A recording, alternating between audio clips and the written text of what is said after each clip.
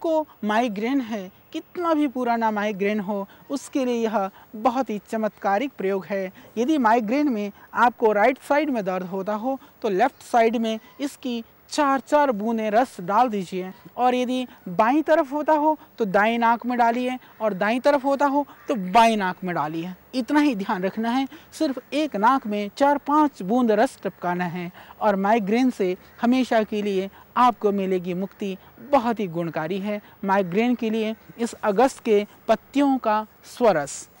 और जिनको सर्दी की परेशानी है, सर्दी है, एलर्जी है साइनोसाइटिस है, उन सब परेशानियों में इसका रस निकाल करके, अगस्त के पत्तियों का रस निकाल करके, निचोड़ करके चार चार बूंद आप दोनों ही नासिका में डालें। दोनों नाक में चार चार बूंद रस सुबह खाली पेट टपकाएँ। इससे थोड़ी सी नाक में लगती है, परंतु आप देखेंगे अंदर का जो कफ है, वलगम है, वो सब निकल जाएगा और साइनस से और जो एलर्जिक प्रॉब्लम है आपको, उससे हमेशा के लिए मिलेगी मुक्ति। तो यह बहुत ही गुणकारी है साइनस के लिए एलर्जिक प्रॉब्लम के लिए और आपके किसी भी तरह के माइग्रेन सिर दर्द के लिए और आँखों की परेशानी के लिए और जैसा कि मैंने कहा, लिकोरिया के लिए, योनि के समस्त रोगों के लिए और जिनको बहुत ही ज़्यादा शारीरिक क्षणता है, धातु दुर्बलता है, उन सब के लिए और इसका जो बहुत ही लाभकारी जो प्रयोग है, वह है किसी को कब्ज़ की शिकायत है। कब्ज़ में भी यह बहुत ही लाभकारी है। तो इसको आप थोड़े से इन फूलों को उबाल करके, इन पत्तियों को उबाल करके पाँच दस ग्राम की मात्रा में यदि आप लेते हैं तो इससे आपका जो कब्ज़ है, वह हमेशा के लिए ठीक हो जाएगा। ये बहुत ही अच्छा प्रयोग है अगस्त के इस पौधे का। और एक बहुत ही, बहुत अच्छा और मैं यूँ कहूँ कि संतों के द्वारा अनुभूत और बहुत ही गोपनीय प्रयोग है अल्सरेटिव कोलाइटिस के लिए। आंतों के घाव के लिए, सूजन के लिए, अंदर के इन्फेक्शन के लिए। तो आपको क्या करना है कि आपको इनके पत्तियों को और इसके फूलों को लेकर के आपको रखना है। यदि तो आपको ताज़ा मिल जाए तो इसको कूट करके रस निकाल लीजिए।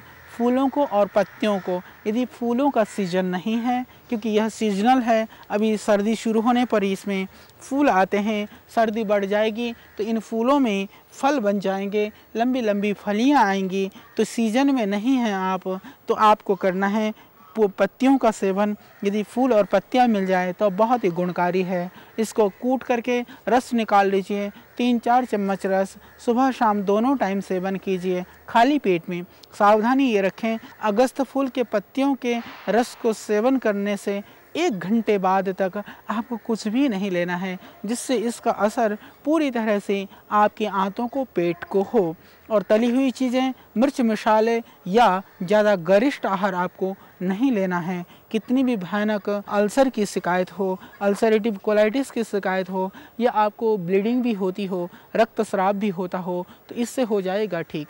यह पाइल्स में भी काम करता है, पेट को भी साफ़ करता है, और आपके अंदर की इन्फेक्शन और भयानक बीमारियों को भी यह बचाता है। यह बहुत ही गुणकारी प्रयोग है, और जैसा कि मैंने कहा कि मेरी माताओं बहनों को जिनको श्वेत प्रदर है, रक्त प्रदर है, इसका पाउडर करके भी फूल और इनकी पत्तियों का पाउडर करके भी वह सेवन कर सकती हैं प्रातः और सायंकाल।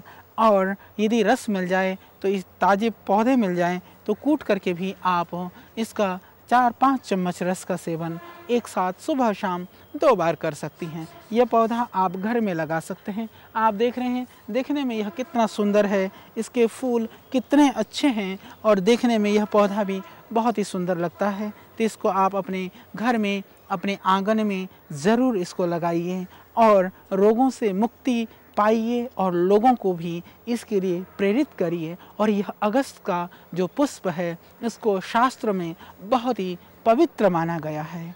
हमारे शास्त्रों में इसको बहुत शुभ माना गया है। तो इन फूलों को आप देव अर्चना के लिए भी, भगवत पूजा के लिए भी इसका प्रयोग कर सकते हैं, घर में रख सकते हैं। बहुत ही अच्छा है, बहुत ही लाभकारी है, बहुत ही गुणकारी है। और विशेष करके जिनको फिट्स पड़ते हैं, जिनको दौरे पड़ते हैं उनके लिए भी यह बहुत ही गुणकारी पौधा है और जिनको मूर्छा हो, कोई मूर्छित तो मूर्छा की स्थिति में पड़ा हुआ है, उसके लिए यदि आप इनकी पत्तियों का रस निचोड़ करके चार चार बूंद नाक में डाल दें तो इससे बेहोशी भी टूटती है। जो मूर्छित लोग हैं, उनकी चेतना लौट करके आती है, क्योंकि यह बहुत ही निरापद है। इसमें कोई नुकसान भी नहीं है तो मूर्छा को तोड़ने के लिए भी। और कुछ समय तक लगातार इस अगस्त के पत्तियों का रस नाक में डालने से, उससे मिर्गी जैसी भयानक बीमारी से भी हमेशा के लिए हो जाती है। छुट्टी उससे मृग जैसी बीमारी भी ठीक हो जाती है। उसके लिए इसका आप प्रयोग कर सकते हैं। तो यह अगस्त का पुष्प सिर्फ़ यह सौंदर्य के लिए एक सौंदर्य वर्धक पुष्प ही नहीं है। एक औषधीय गुणों से भरपूर, बहुत ही दिव्य, बहुत ही गुणकारी और लाभकारी यह फूल है। तो कितना अच्छा फूल है, परंतु रूप से ही नहीं, गुणों से भी बहुत अच्छा है। तो यह आँख के रोगों के लिए, प्रदर रोगों के लिए साइनस के लिए माइग्रेन के लिए मैंने बहुत सारे प्रयोग आपको बताए ज़रूर इसका प्रयोग कीजिए। और अपने घर को निरोग रखिए, अपने आप को निरोग रखिए, अपने घर के पड़ोस को निरोग रखिए और पूरे देश को निरोग बनाने में आप हमारा साथ दीजिए। तो ये बहुत ज़रूरी है कि इसके सेवन के संदर्भ में, इसके प्रयोग के संदर्भ में आप बहुत कुछ जानें। बुखार के लिए कई बार ऐसा होता है, कुछ ऐसे बुखार होते हैं, बहुत सारी औषधि लेने पर भी ठीक नहीं होते हैं। रह रह करके बुखार आता है, शरीर के अंदर बहुत ही टूटन होती है, बहुत ही जलन और दर्द होता है। उस स्थिति में भी आप इसके पत्तियों का काढ़ा बना करके आप सेवन कर सकते हैं। तो उसके लिए क्या करना है? अगस्त के पौधे की यह पत्तियाँ, जैसे आप देखते हैं कि एक पत्ती के अंदर, यह जैसे एक पत्ती है तो इस पत्ती के अंदर बहुत सारी पत्तियाँ होती हैं छोटी छोटी पत्तियाँ होती हैं। तो लगभग एक पत्ती को इस तरह से इसको डंठल को हटा करके, इसको ले करके इसको कूट करके, इसको पानी में उबाल लीजिए। दो तीन पत्ती तुलसी, एक दो दाने काली मिर्च, सर्दी हो तो थोड़ा ज़्यादा भी ले सकते हैं, गर्मी हो तो कम लेना। उसको ले करके आपको पानी में उबाल करके एक डेढ़ गिलास पानी में उबालिए, एक चौथाई बचे छान करके पीना है आपको सुबह शाम। आप नियमित रूप से पीजिए। कितना भी पुराना बुखार हो, किसी भी कारण से बुखार हो, इससे पेट भी साफ़ हो जाएगा और इससे अंदर की इन्फेक्शन भी ठीक हो जाएगा। इससे बुखार भी उतर जाएगा और जो आपको एलर्जिक प्रॉब्लम है, उसमें भी इसे पूरा लाभ मिलेगा। और यह इनकी जो पत्तियाँ हैं, वह जहर शामक भी है। जिनको यदि किसी ने कोई ऐसी चीज़ खाली हो, जिसकी वजह से धीरे धीरे शरीर के अंदर जहर का प्रभाव हो रहा हो तो कुछ समय तक इसका काढ़ा बना करके नियमित रूप से पीने से वह परेशानी भी ठीक हो जाएगी और हमेशा के लिए आपका देह देदीप्यमान होगा काया कांतिमान होगा। यह बहुत ही सुंदर है, बहुत ही गुणकारी है, बहुत ही लाभकारी है। यह अगस्त का पौधा, अगस्त का फूल और अगस्त का यह वृक्ष।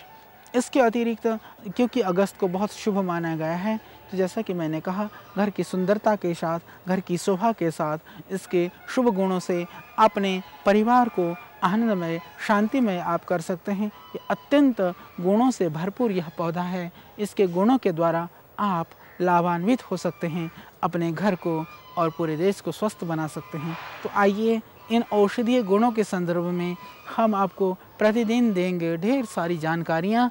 आपके लिए एक औषधीय गुणों से भरपूर पौधे के साथ तब तक के लिए आप दीजिए मुझे विदा।